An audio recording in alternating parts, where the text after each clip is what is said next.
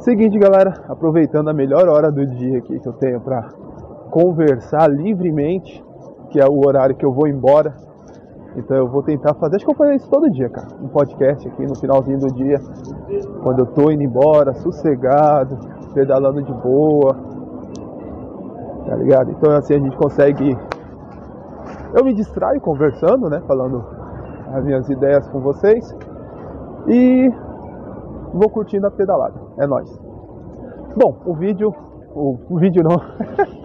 o podcast que eu vou falar hoje né, é a respeito do guerreiro ainda. É, guerreiro, porque, pra quem não sabe, eu faço o vídeo que eu fiz hoje, né? Que eu lancei a respeito do, do guerreiro, do Vina Guerreiro, é que eu faço ele na hora do meu almoço. Eu fiz ele na hora do meu almoço. Então eu não tinha algumas informações que eu tenho agora, eu não tinha visto, que é esses três pontos que eu quero pegar nesse vídeo, que são a, o vídeo do Henry Bugalho, o vídeo do Giraldelli e a atitude do PDT de São Paulo.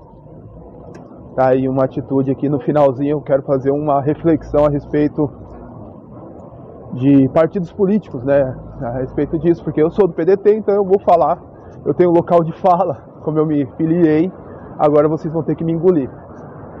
É isso aí, beleza? Vamos pegar então o primeiro ponto, que é o vídeo lamentável do Henry Bugalho. Sabe, às vezes eu, eu compreendo muito o Merlin ficar xingando ele, porque eu vou te contar, viu, Henry? Caramba, vai catar coquinho, mano você não saber fazer uma distinção da, da, de violência, né, uma reação a uma violência e de uma violência gratuita, uma, uma pessoa atacando, uma pessoa sendo violenta com inocentes e você reagir a uma violência, cara, você não sabe essa diferença, é tenso, cara, é tenso. Eu, é, eu fico muito triste que um professor de filosofia um graduado, não sei se ele dá aula de filosofia, mas ele é um graduado em filosofia, não saiba fazer essa diferença, essa distinção. Cara, lamentável mais uma vez. E aí eu faço minhas palavras de. Sabe, eu não vou comprar todas as palavras que o Merlin fala, porque eu acho que o Merlin às vezes pega um pouco pesado. Mas olha, tem vezes que realmente, viu, cara? Acho que tem que pegar um pouco pesado com você. Tá? Mas eu, aí eu lembro que você é um liberal, você não é de esquerda, você é de direita liberal. E aí eu, eu, eu já falo assim, ah não, beleza, é um liberal. Então ele pode falar essas merda. Aí antes que venha alguém fale assim, oh não, mas o Henry é esquerda. Ele é esquerda lá na Europa, tá ligado? Se ele, se ele acha que ele é de esquerda porque ele tá na Europa, lá na esquerda ele é, ele é lá na Europa ele é de esquerda, saiba que o público dele é brasileiro. E o que ele defende no Brasil é liberalismo. É considerado liberalismo direita liberal. Beleza? Ele é tipo a Tabata Amaral, falando que é de, que é de esquerda, tá ligado? Então isso é direita liberal. Beleza, gente? Então isso é, é a minha nota de repúdio total ao vídeo do Henry a respeito do guerreiro, tá? Então, é, o Henry vai catar coquinho. é isso aí. Bom, e o Giraldelli, vídeo do Giraldelli. Cara, muitas pessoas que eu conheço tá, criticam muito o machismo do Giraldelli e ele é sim machista. Tá, então esse é um ponto negativo dele. É, mas eu re, re, é, ressalto, né, porque ele, cara, é um, um, homem de 70 anos, quase aí, 60 e poucos anos. Então a gente acaba relevando certas atitudes dele, mas não vou deixar de criticar, tá? Então é sim machista, ponto final. Mas, cara, se tem um cara filósofo hoje no YouTube que tá falando umas boas verdades é o Giraldelli. Sinto muito, mas é o Giraldelli. Ele falou exatamente o que, deve, o que o deveria ter falado a respeito do guerreiro. Tá aqui. Na visão liberal, o guerreiro está completamente certo. Se você tem um, um regime, um governo que é ditatorial, que ele está tomando certas atitudes de exceção contra a sua população, a população tem total legitimidade de pegar em armas para derrubar esse governante. Isso na visão liberal, de direita liberal, não estou nem falando de esquerda. Beleza? Então na direita liberal, tanto que a Constituição estadunidense diz isso, que se tiver um governo autoritário, o, a população tem o direito de pegar em armas e derrubar esse governo.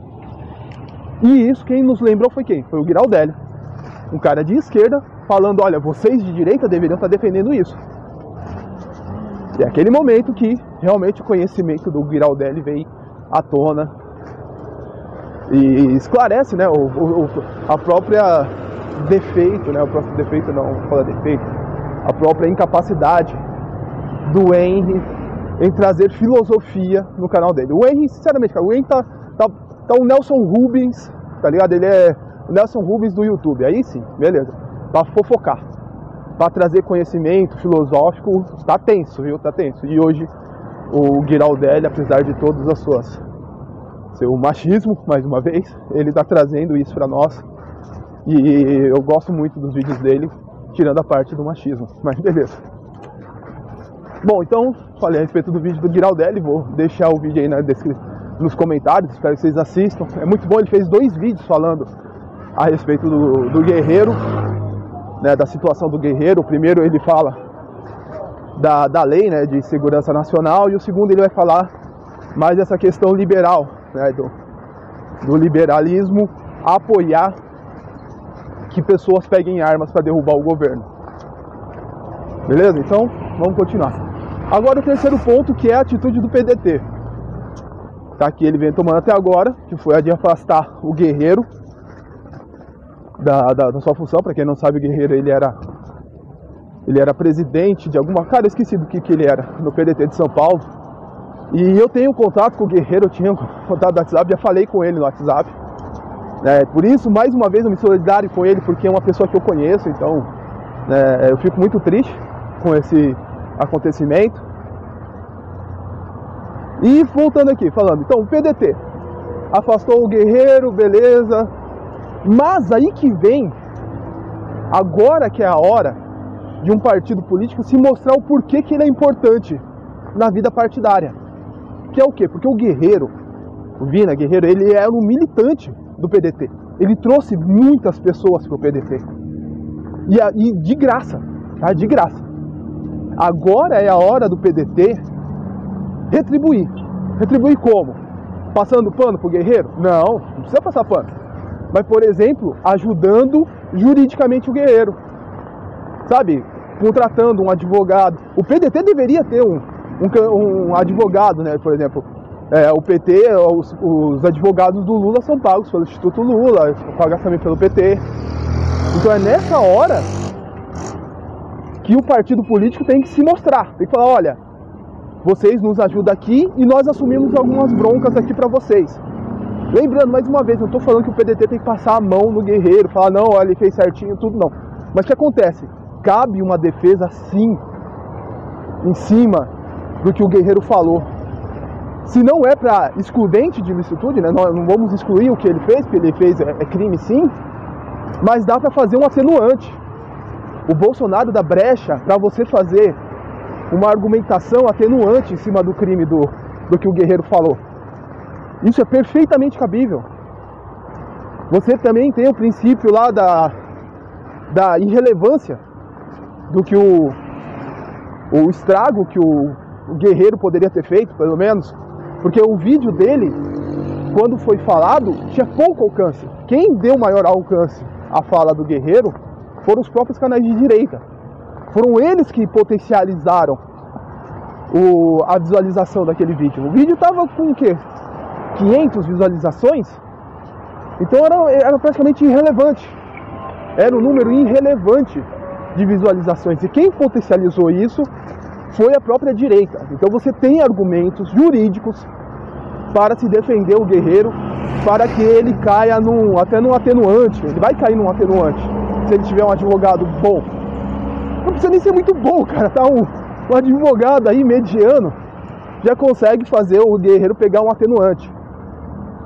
Tá? Então provavelmente ele vai ter que fazer um vídeo de retratação, tá ligado? Então isso aí vai ter que fazer, nada contra. Faz aí, guerreiro, pelo amor de Deus.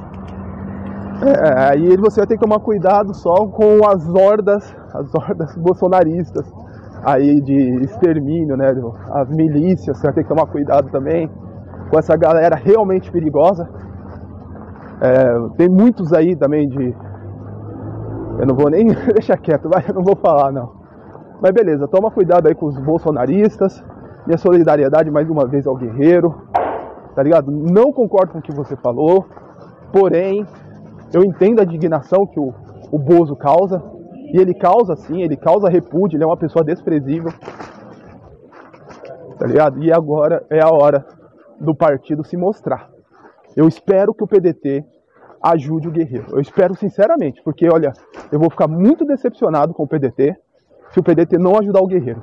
Afastou o guerreiro? Beleza, é totalmente cabível. Vai para o conselho de ética? Beleza também. O que ele fez, mais uma vez, é um ato de violência, a gente tem que tomar cuidado com isso.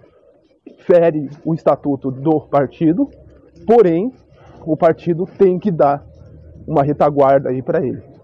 Beleza? Eu espero que ele faça isso, sinceramente.